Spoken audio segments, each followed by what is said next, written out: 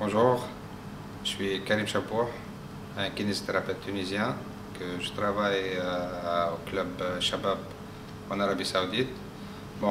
J'ai eu cette euh, formation de PCP et j'ai vu euh, qu'il y a...